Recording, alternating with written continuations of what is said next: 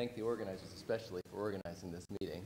Um, I, um, I'm, thanks to Anne, I don't have to say a lot of things I would normally talk about. Um, and uh, so there's a picture of Anne. You notice the striking resemblance to a former inhabitant of this place. Um, um, and um, I guess whose name will appear in a moment. And then there's, a, there's the Mont Saint-Benet. I don't know whose hand that is holding up that, that bowl, but shadow art.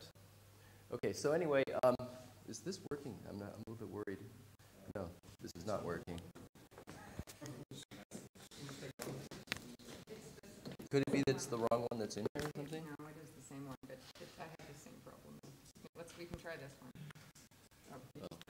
Well, I'm going to use mine. Oh, okay, yeah, okay, here, try this one. Sorry.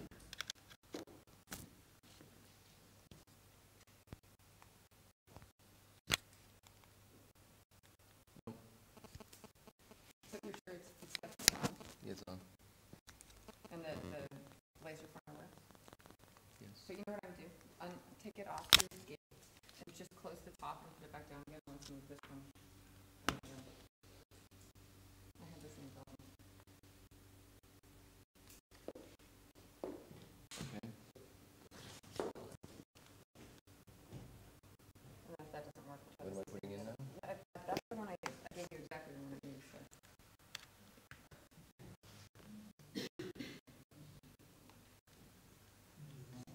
Still not working.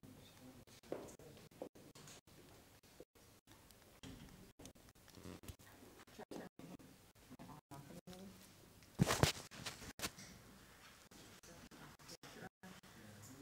That seems to work. Right now, yeah, because it just vibrated. Maybe that's a good thing.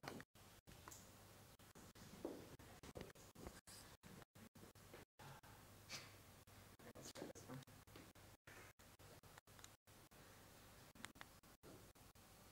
Yeah, go ahead. And then I would turn it on or off again. Just this one. Oh, there it is. That worked. Okay, there we are. Julia Pereira. Now, now we know we're working. Okay, sorry about that. Okay, here we go. So much for jokes. Okay, so, um, right. So I'm going to, um, I want to remind you about why it is, um, just to give you sort of a broader background of, the, of why I think decision making is important and why studying noisy neurons is important. And, um, and that is because I think decision making offers a window on higher brain function in general. And um, as a neurologist, I think that the, the, um, the interesting insights that we get about mechanism by thinking about the problem at the level that we in this room think about this problem will one day lead to ways of treating disorders affecting higher brain function. And the way, the reason that's so, I should have said, is because the principles revealed at the structure, at the level that I think we can approach them in the behaving monkey, uh, will ultimately explain things that seem unrelated in our broader cognitive um, repertoire in the human brain. And, and only by virtue of having more brains, essentially decisions to make decisions about decisions, sort of effectively cascading and recursively doing the operations that the monkey brain can do. But to fix those things in the brains of humans one day, if when our brains go awry in disease, we need to understand them at the level that I think is more practically approached uh, in the rodent. And so, um, so okay, so that's sort of a, a- an important background. The other thing is that Anne's already introduced is that a key feature in the expansion of the association cortex of the brain that occurred between rodent and monkey, and even more so between monkeys and humans, is this property known as persistent activity, and Anne has already introduced it. So I'll just tell you, just um, make one quick point since we're in Catalonia, that this kind of spatially selective, ugh, I can't have sound, terrible. Are you sure you, that your volume's on on here? Yeah, your volume's on. Well, you just heard these neurons anyway, so it really doesn't matter. But that activity that you heard before was persistent activity, it for you anyway, and you know that separates a, a little pulse of light before a monkey would make an eye movement sometime later. And this kind of persistent activity, I think, um, holds the key to higher brain function in the sense that it gives us a freedom from immediacy. It lets us connect our immediate past to the present to the future, and without it, we'd be hopelessly confused. So it's sort of a way of bridging between the kind of operations that are transpiring, especially in the association cortex, where you have this freedom from immediacy, um, uh, compared to, say, the visual cortex or the sensory cortex that keeps up with the changing world, or the motor cortex that has to keep up with the changing body. That's sort of a way to view the kinds of, of, of, um, of, of, of operations in the association cortex as a window on cognition, and I would argue, and its disorders, like confusion is what I'm alluding to. Okay, so um, this slide has already been shown, and I just want to point out that something that had plagued us for a long time in our studies of, of um, decision making was um, the idea of, of trying to connect at the single trial level of a, an operation that seems to do such a beautiful job of, of explaining the speed and accuracy, speed versus accuracy trade-off in at least uh, one class of, of very simple decisions. And um, I just want to point out this very old slide from Jamie Roitman, um, uh, and Anne showed you uh, responses like that that show firing rate as a function of time while the monkey is making a decision, in this case in the reaction time version of the task, about the direction of random dot motion, and you're seeing these, these average responses that look kind of like accumulations or meanderings uh, based on the uh, sign and direction of motion, strong motion, fast buildup or intense uh, decline, and the weakest motion, something in between, um, uh, still giving away ultimately what the monkey's choice will be. And, um, and we um, know that those neurons, this, these neurons in association cortex, so they're in their persistent activity, are representing some intermediate kinds of quantities, not just a latch to a high state, an up state, or a low state, but rather doing some interesting kind of computation that we think is related to accumulation of evidence to some critical level or bound uh, that terminates the decision. Okay, so you're all aware of that. Uh, I do want to point out that that um, um, that this um, mechanism that we have in mind, which is termed uh, evidence accumulation or bounded evidence accumulation or random walk to bound or bounded diffusion, um, is, um, is, a, is, is, uh, is a cartoon. It's not, um, uh, you know, it requires a certain amount of elaboration to really get things right, like reaction time distributions and error uh, reaction time. But, uh, and I'm going to ignore some of the details of it, uh, like the fact that we think the bounds collapse, whereas Anne showed really there's a race between two mechanisms, and therefore the bounds don't have to collapse, but there can be additive signals that you can sort of consider like soft, soft deadlines. We call those urgency. Um, but all of those things, the beauty of this and what convinced us that there's something to this basic idea is that if you fit data, reaction time data from a monkey in this case, so reaction time being the time that elapsed from onset of motions to the beginning of the monkey's eye movement. We plot that as a function of, of, of, viewing, of motion strength. When the motion's strong, the monkey's taking less than half a second in this experiment. And when, he's, when the motion's weak, he's taking almost a second, 800 milliseconds, you see. And, um, and this smooth curve fit through the data is a fit of this very simple, the simplest form of this diffusion model. Okay, there's a key parameters are the bound height, which instantiates the speed accuracy trade-off, right? The intuition being the further you um, place the bound from the starting point of the accumulation, the more um, evidence uh, gets to acquire the monkey gets before he makes his answer. So that's that would support accuracy, but at the cost of time because it takes longer to reach the bound. And then one other term that's important here that takes the motion strength and uh, converts it to signal to noise. So that turns out to just be constant proportionality. Okay, so, so that, that basically explains this curve outside of the non-decision time, which I won't talk about. Um, but the cool thing about this is that if you fit the monkeys or humans' reaction time and you hypothesize that the mechanism that gave rise to that was a mechanism like this, then you've used up all your degrees of freedom to explain choice. And you're in this very unusual position in psychophysics where you have to predict that at these two motion strengths, the monkey will be perfect and he will tend towards chance. This is proportion correct, so chance being 0.5 down here. Um, that he'll tend towards chance at exactly this rate, and that's pretty close to where the data lie. So I just want to, I want, I, I want you to, to appreciate how powerful that is, because it's very rare in psychophysics that you can make one set of observations and use them to really predict a whole different kind of set of observations. Okay, so the things wrong with this very simple model, as I said, we understand a lot of those things that are wrong. So there's, but but the, the basic element seems to be there. And it convinced us that these kinds of, of responses that we see on average really do represent something like the accumulation. Their fire, the firing rate of these neurons looks something like um, the integral dt of something coming out of the visual cortex, which other experiments told us was a difference, right minus left, okay? And left minus right, things like that. I'll come back to that at the end. Okay, so now, so to study this though, that's a hard, we, we had trouble really convincing ourselves that there weren't that alternatives like changes suddenly along the trial at different times in the trial would, would also lead to averages like this. You know, if you have something that steps up, but it steps up at a different time, and you take averages of those things, then um, it might look like ramp on average. So, um, so one way to go about figuring about uh, testing the hypothesis that these these average responses really reflect a bunch of diffusion paths like the ones that Anne showed you, where the diffusion path is the rate that you'd compute by integrating the difference in, in, in rates, what I will call um, momentary evidence coming out of the visual cortex. One way to do that is to do a different experiment where you basically slow down time and ask monkeys to accumulate something else. And I'll just show you a quick example of that. Here's a, a neuron uh, just like the ones I showed you, the response fields over here. I'm not going to tell you everything about this task, but the monkey is going to make a decision about a bunch of shapes that he sees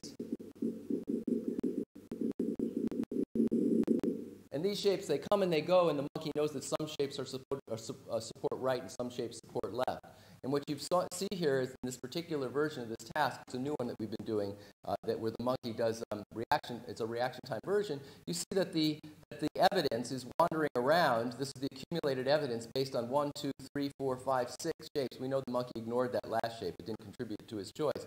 But you see what's happening here is, is um, an, an, accumulation of evidence, first meandering of it, um, and associated with that is these changes in the spike rate. And it turns out if I showed you many such trials, I would convince you that these gaps in between the spikes here where the rate is low and this longer gap here where the rate seems to be at its nadir is real. That that's, that's what you're seeing are neurons that are in fact doing running sums of numbers, in this case numbers assigned to shapes. Okay, so, so the idea, so that's a way of slowing down time, doing just a different kind of experiment than random dots and seeing that the neurons in their firing rate are representing the accumulation of evidence. But I want to, I want to now go back to Anne's, oh, here's another trial. I can't resist. It's just fun to watch. Um, that, was, that was one of the longer reaction time trials. And you can see that I've, I've aligned the spikes so that they're, they're coming right above the representation of shape one, then the accumulation after two shapes, after three, and so forth. And you kind of get the idea that the spikes rate instantaneously is kind of matching the accumulation of evidence. Now you can imagine that across many trials, since the evidence is going to be different on every trial, and this, this gets to Alfonso's uh, point, uh, that, that that's going to lead to different, different kinds of variance. Now that's the variance that's originating in the stimulus completely, okay? Uh, of course, there's presumably variance that's, that's also in the brain, representing each of the shapes or the assigned likelihood uh, that's associated to each of the shapes and so forth.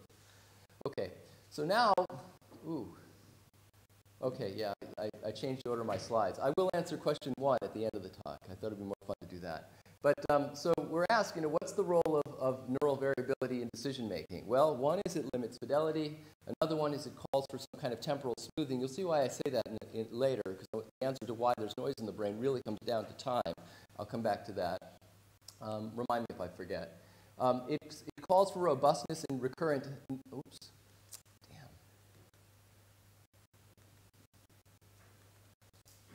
It calls for robustness in recurrent circuits. We, as we get more and more realistic, as some of you have in your work, uh, trying to uh, not think in the abstract about statistical analogies, but actually neural mechanisms. Um, noise is, uh, is a big problem for things that uh, involve recurrence, for example, or any kind of attractor dynamics. Um, and needs to be taken seriously. And then its particular form, where the variance is proportional to mean, supports certain kinds of regularities. This is a much deeper issue, but one we can talk about over wine, such that a difference variable computed from random numbers that are represented by neurons whose variance is proportional to mean will approximate log likelihood ratios. And that's a very convenient regularity that the brain can use to, for example, uh, assign degree of belief to, um, to a decision variable uh, not have to necessarily assign it because it's sampled the state of the decision variable in, in all possible ways of, the, of, of uh, in all possible experiments. So in other words, it's possible to just be told something about probability and instantiate it, like a prior probability, and just instantiate it by changing a bound height without ever having experienced that in the past. So those are fun things, and those are things we can talk about. Um, the other thing is that correlated variability among neurons preserves trial by trial correlations between spike counts and choice, that's been discussed already today. Rate of rise, what sometimes call it buildup rate and reaction time, trial by trial. Rate of rise and the probability that an animal will opt out in a confidence, a post-decision wagering task.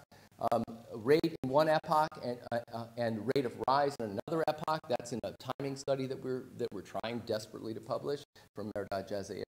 Um, and, um, and counts in different epochs, which gets me to this um, correlation. Anyway, so the point is, is that uh, the reason I'm putting this up is because as we start wondering, I mean, part of this meeting is to go back and start revising our thinking about, you know, some of the early ideas we had on this topic. And, um, and so, but as we do that, I, I just want to remind us of some of the a great power of recognizing that neurons are weakly, in fact, weakly correlated with one another.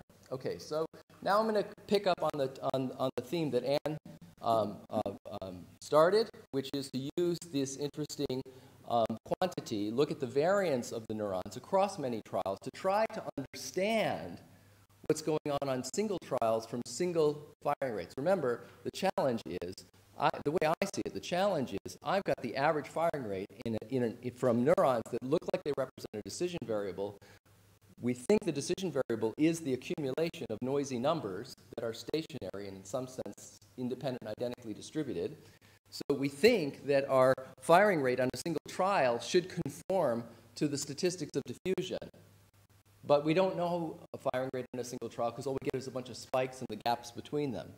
Okay, so, so we exploit this variance tool uh, to get at it. And uh, Anne's already introduced the tool, um, and, um, and it basically comes from marrying two very simple ideas, the theory of doubly stochastic point processes with the laws of total variance and covariance.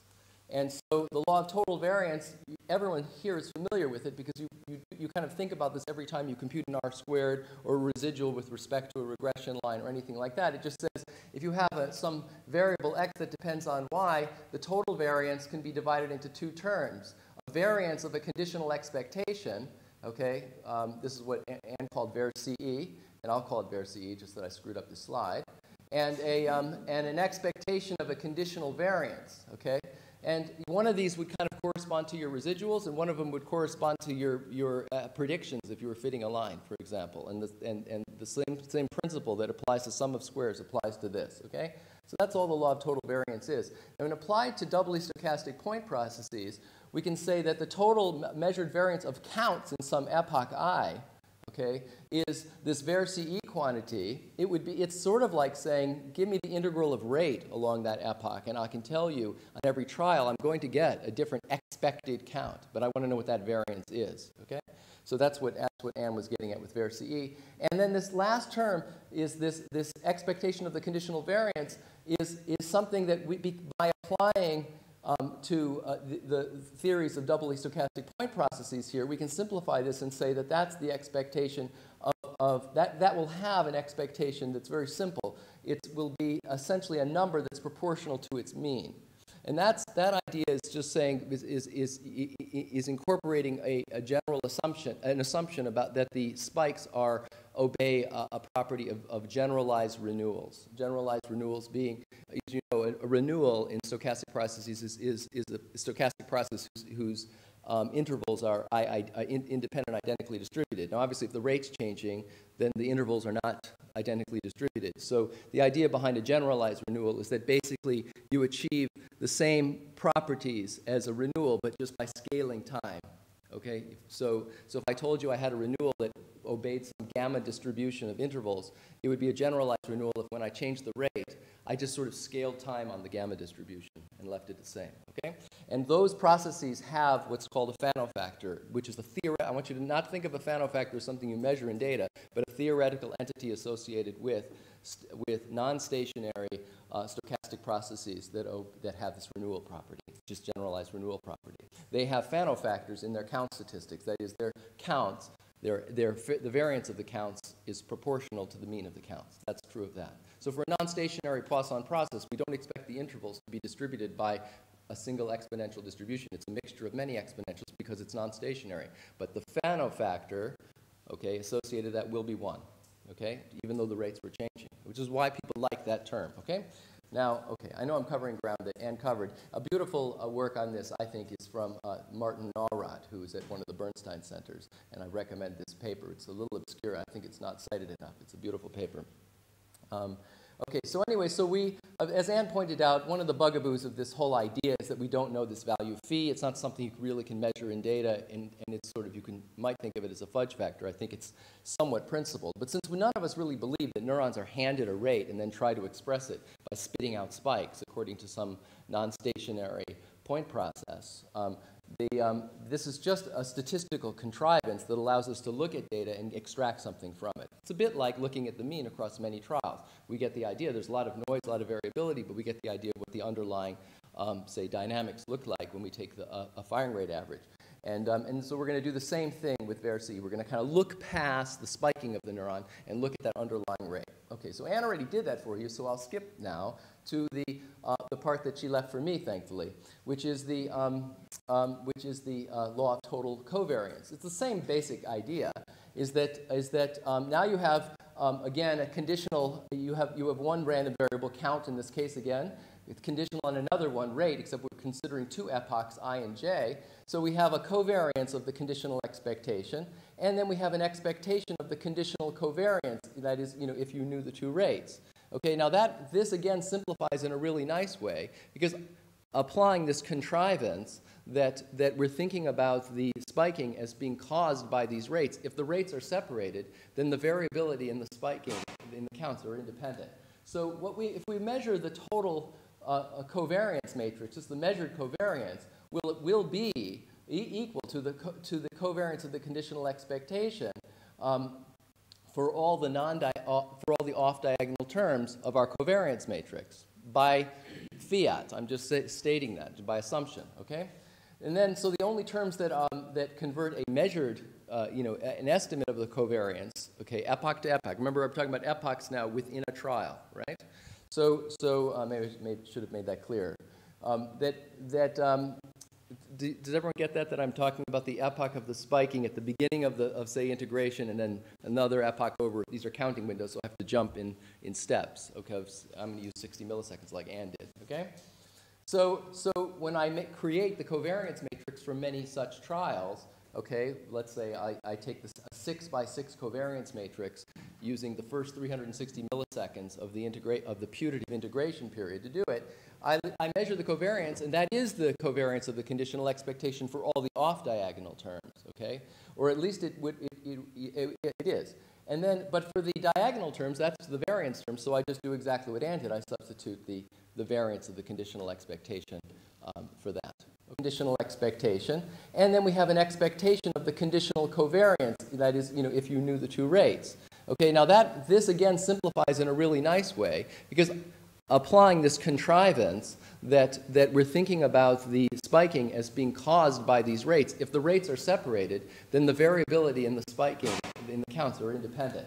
So what we, if we measure the total uh, covariance matrix, just the measured covariance, will, it will be e equal to the, to the covariance of the conditional expectation um, for all the non uh, for all the off diagonal terms of our covariance matrix by fiat. I'm just stating that by assumption. Okay, and then so the only terms that um, that convert a measured uh, you know an estimate of the covariance. Okay, epoch to epoch. Remember, I'm talking about epochs now within a trial, right? So so uh, maybe, maybe should have made that clear. Um, that that um, does everyone get that? That I'm talking about the epoch of the spiking at the beginning of the of say integration, and then another epoch over. These are counting windows, so I have to jump in in steps. Okay, I'm going to use 60 milliseconds like Anne did. Okay, so so when I make, create the covariance matrix for many such trials, okay, let's say I, I take this six by six covariance matrix using the first 360 milliseconds of the integrate of the putative integration period to do it. I, I, measure the covariance, and that is the covariance of the conditional expectation for all the off-diagonal terms, okay? Or at least it, would, it, it, it is. And then, but for the diagonal terms, that's the variance term, so I just do exactly what Anne did. I substitute the, the variance of the conditional expectation um, for that, okay? So that's all we have to do. Now I want to, um, uh, so the theory goes like this. Anne showed you these graphs. In fact, she just gave me this during breakfast. Um, so this is, it turns out one beautiful thing about, about the, um, this, this, oh, sorry, then you, then you, do- I'm going to do one more step, which I'll normalize the covi- the covariance of the conditional expectation and, and make it a correlation matrix, the, you know, the usual way, okay? And so, um, so this represents, using uh, heat map, the expected covariance of conditional expectation for diffusion, okay? I'll come back and tell you some of the interesting features, but you see, it's, it's, it, there's, there's this, let me just, this top row is the um, correlation between the first epoch and the second, third, fourth, and so forth. And you can see it's falling off, the cooler colors being less correlation. And then you see there's this other feature that, that as you go, like these, the, if you go to along the first juxtadiagonal here, those, those are all um, bins that sep- are separated by the same amount. They're adjacent 60 millisecond bins, but you see the correlation is increasing. The colors are getting darker. Those, that's sort of the two key features. I want to point out, though, that for unbounded diffusion, this, um, this is very easy. Every element in this is just the square root of i over j, if i is row number and j is column number. Okay? Uh, I, I'm the upper triangle, i less than j. Okay? Then, and the intuition there is, is that think of a process, think of, think of, the, think of the, the total variance out to the jth step. Okay? It's just j times the variance of each of the independent increments, right? We're accumulating j random numbers. Okay? Okay, so we get total variance that's proportional to j. And if we've gone out i up to that, then conditional on knowing the value at i, then we know that that's the fraction of the variance that's, that, that we've explained. A few steps later, you can think about it. It's really trivial. So the square root of that, of that ratio is the r value. Yeah. I I have a question on understanding, but if it takes too long to answer, we postpone that. I would understand your talk perfectly if you were talking about correlations between two neurons. Right. And the two neurons were participating in the same accumulation of evidence to abound. But because you're talking about correlation of one neuron's activity with itself a Yeah. few seconds later, I'm not understanding why we care. Oh, we care because it's going to let us, it's, again, this is a tool for looking at signatures of diffusion on the single trial level. So we're talking about, if I said autocorrelation, then I wouldn't be confusing you as much, I suspect, okay? So this is the autocorrelation, but it's not the usual autocorrelation histogram you're used to. It's just the autocorrelation between the counts I get now and the counts I get from that same neuron on the same trial, uh, you know, sometime later okay? And I'm saying that is also something specified by diffusion. No degrees of freedom here. If, in fact, specified for any cumulative sum of IID random variable, you should have a correlation that every one of these little squares would have R value square root I over J, okay? And that, that's a really strong constraint. No degrees of freedom, okay? That's what it must be.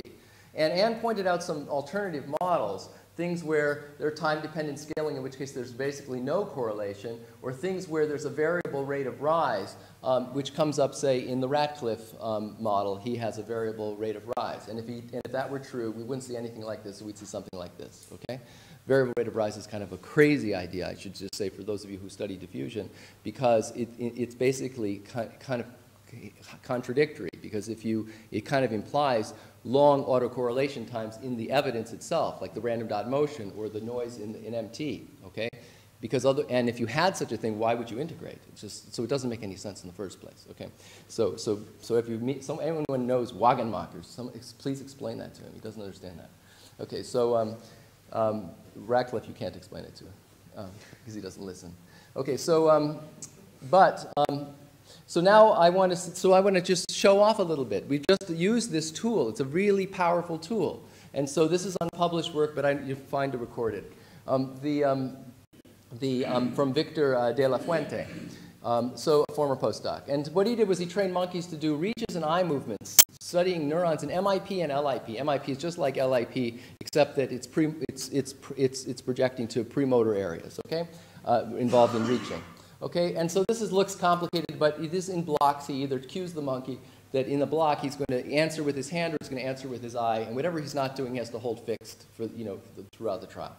Okay, so that's it. It's not a reaction time task, and these monkeys are trained, so it, it, so happens they're just almost identical in, in their performance. It's not a reaction time task.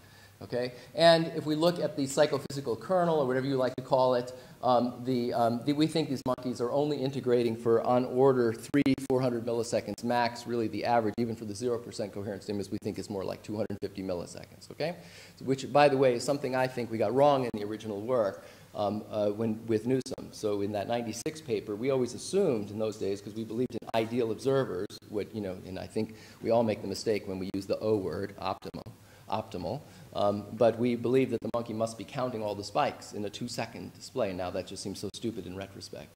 Um, but, um, but, but the numbers are, in this particular case, and this, these monkeys were not, I think, terribly well trained, but they were, um, they were integrating out for, a, we think, on order uh, 300 milliseconds, let's say. So, um, and uh, that actually matters, but I'm going to gloss over that, okay? So, and this has a characteristic signature. This is the impulse response of a motion energy uh, for just two pulse motion in our display, and this is the correlation between the motion energy and the monkey's choice of the 0% coherent uh, motion task, okay? Okay, so now if you look at the average firing rate from MIP across the top, LIP across the bottom, on reach trials, left column, saccades, you see responses that look in every instance like kind of like decision variables. LIP is no big surprise. Maybe it's a surprise that it should have been as responsive as it was during the reaching.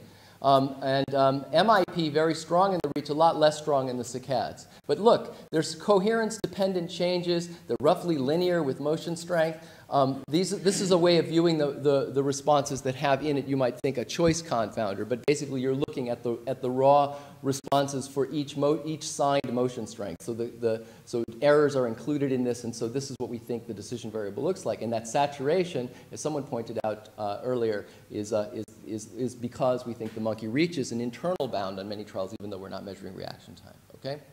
Now, so you look at that, and, you, and, we would, I would, have, I would have thought that there was a decision variable here in all these conditions. But now we apply this tool. So again, here's the theoretical. I'm only showing you the upper, upper triangular part, the, the 15 unique R values for this 6 by 6 correlation matrix. Here they are, um, and for, from theory, for unbounded diffusion. Um, and here, here's they are for the, these, those four conditions. And you know, just by eye, you see that you've got the basic features kind of correct here. Remember I told you that the two kind of things to think about are this is this upper row, which is the correlation with the first epoch of putative integration with the second, third, fourth, fifth, and sixth, and then this first juxtadiagonal, which are 60 milliseconds away, what's the count, but at the beginning, at the next 60, at the next 60, at the next 60, and so forth is time. Yeah? Yeah, good. Okay, so anyway, to make a long story short, if I look at those at those um, at that at that upper row in dashed and at this this row. And now what I do is I allow that phi, that new, that parameter that's kind of the bugaboo in the whole idea, but I let that be the one degree of freedom and try my best to find a phi that lets me entertain the idea that what I'm seeing here in the rates is an accumulation. Okay? Then this is the best I can do. I do really well with MIP reach. I do really well with LIP saccade, pretty well LIP reach. And, um, but I cannot do it for MIP saccade. Okay, so that's kind of cool. So that's using this tool not only to uh, support the idea that you're seeing diffusion on single trials, but also um, to even um, get a little bit of a stronger purchase in a situation where I might have convinced myself we saw diffusion and now I can't. Okay, and, and the var CE supports that too because now with the phi fit here, I calculate the var CE without any degrees of freedom and it's roughly linear in all conditions except for this one the M MIP under the saccade block. Okay. So now I'm going to um, close by with uh, trying to get back to that first question that we were posed, which is what's the origin of variability? And they really come down to um, these um, five things. Uh, a balance in, between excitation and inhibition, and I'm going to expand on that in a second. The world, which includes random dot motion.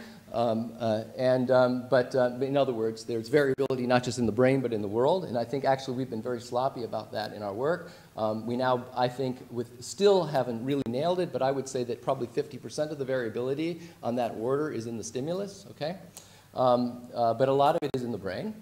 And, um, whoops.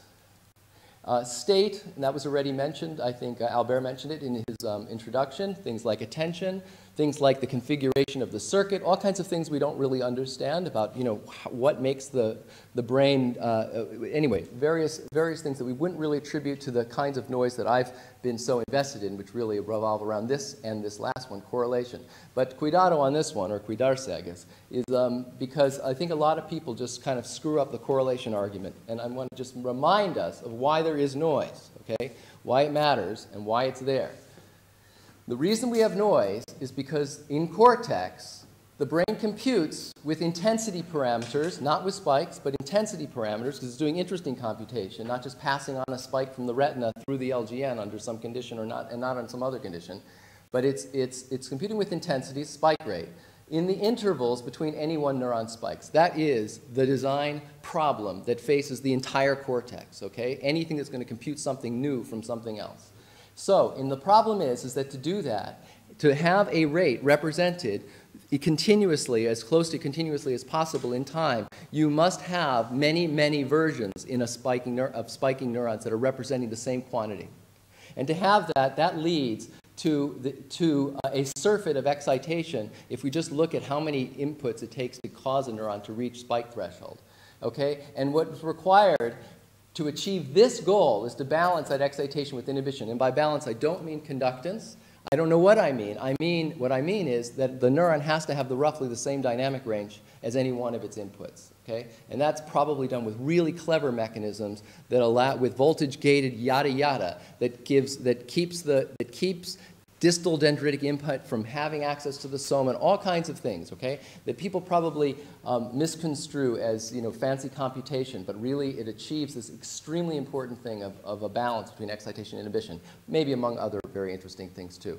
Okay, so, um, and so to do that, neurons need to share connections, and you saw that cartoon from one of my earlier papers about that. And this correlation ultimately limits the improvement of averaging and temporal resolution of rate. Now, I'm not saying anything about, about the computation you do with a neuron that represents Si and a neuron that represents Sj in a probabilistic population code, okay? That's a different kind of correlation. I'm talking about at one, for one message to get through to be used in computation, you need many neurons that represent it. And the fidelity of that one value, it's one element of your vector that you're computing with, that element is limited, the fidelity on that element is limited by, cor by correlations. And it's the correlations not at a distance, it's the correlations of the many neurons that share the same, that share connections with it by virtue of representing more or less the same thing.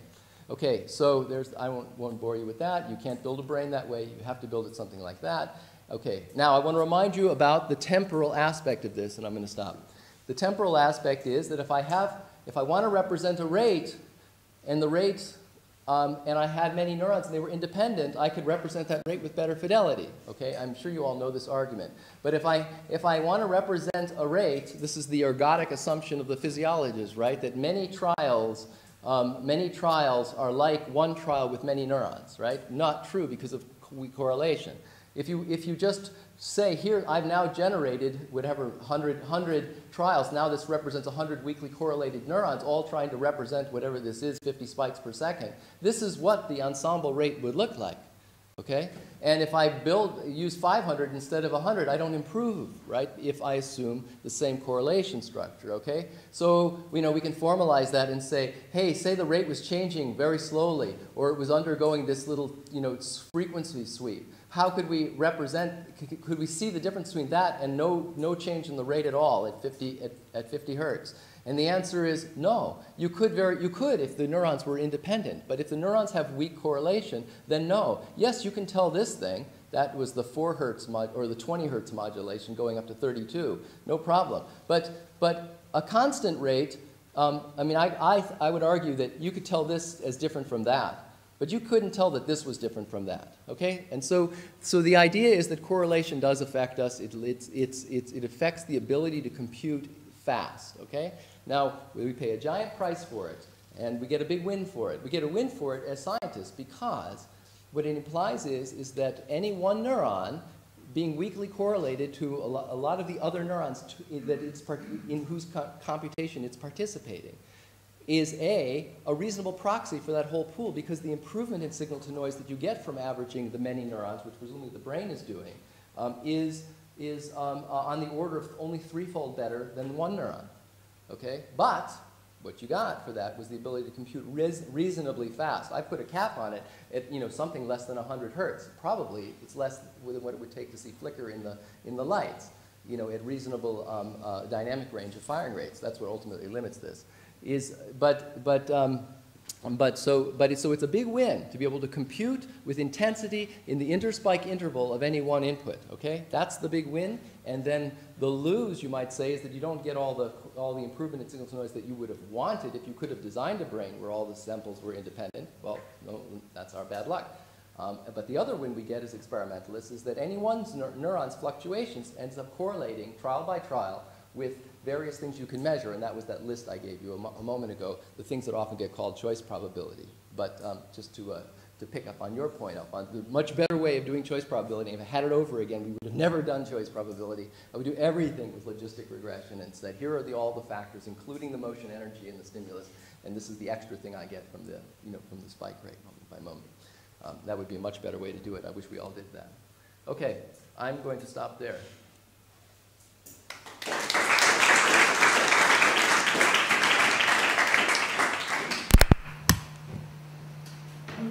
Regarding your last argument on the uh, on the origin why there's noise. and I, I think it depends on two assumptions. One is that uh, you have something like a PSTH readout and that you don't allow for um, heterogeneity. So if you have heterogeneity rather than noise, then you can achieve basically the same advances, advantages without noise, which would be, from an information theoretic perspective, um, more desirable? Yes, I agree with that. So, so you could, I mean, the critical thing in your argument is, and, and Rolf's, is that, is that you, you know, you have, the, the downstream readout has to be pretty clever. And has to be. Question regarding your last argument on the, uh, on the origin why there's noise. and I, I think it depends on two assumptions. One is that uh, you have something like a PSTH readout, and that you don't allow for um, heterogeneity. So if you have heterogeneity yeah. rather than noise, then you can achieve basically the same advances, advantages without noise, which would be, from an information theoretic perspective, um, more desirable, right? Yes, I agree with that. So, so you could, I mean, the critical thing in your argument is, and, and Rolf's, is that, is that you, you know, you have, the, the, downstream readout has to be pretty clever and has to basically know the firing rate kind of label of your neuron. Not just like it represents the same stimulus uh, dimension or whatever, you know, but it has to know that, it has to know that it's a 20 spikes per second at peak neuron versus a 50 spike per second at peak neuron. And then you could, you might get away with it. I think it's, I think it's unrealistic for the following reason, is that most of the, the readout, the clever readouts that you guys have thought about, um, are ones that, um, that require you effectively, at some point, a subtraction occurs effectively. Now, if you're reading out across a population, I have no problem with that, because now you have heterogeneity that I can live with. But if you're reading across the neurons that are there, that are supporting the same value of, you know, that are basically, you could think of them as effectively like independent, or almost independent samples, of the same set of numbers, then you expect those neurons to have fire rates that are very near each other, okay? And probably the heterogeneity we see in the cortex is because we get away with choosing any one neuron as a proxy for the neurons that are actually the projection neurons or whatever, you know? So, so, and once you subtract there, then you're throwing out the baby with the bathwater. Yes, you're removing shared correlation, which kind of cleans up the signal, which is the intuition for why those mechanisms work, okay, why they survive the correlation. But you've also shared, thrown out the signal because you're subtracting two numbers that are very near each other. So you're working with you're working with signals that are effectively zero.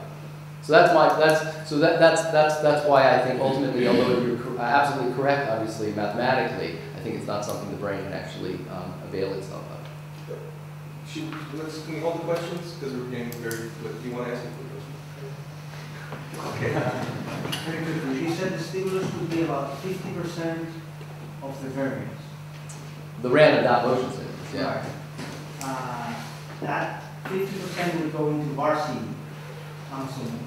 Yeah, yeah, and then, right, so we're, that, we're, if you use the same stimulus, but how much would you expect var CE to go down? Well, that's tricky because the actual, there's two things we don't know to get to var CE One I think we can kind of get at. One, so var CE is, is, is a mapping, don't forget, we're looking at LIP. So if we were looking at the actual number I would calculate from the difference in MT, I could tell you what that variance is because I think I know how noisy the pools are applying these correlation type arguments, okay?